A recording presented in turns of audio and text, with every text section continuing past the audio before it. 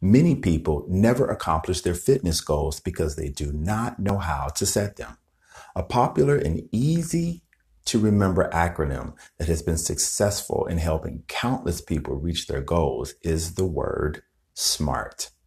S, specific, M, measurable, A, attainable, R, realistic, and T, timely.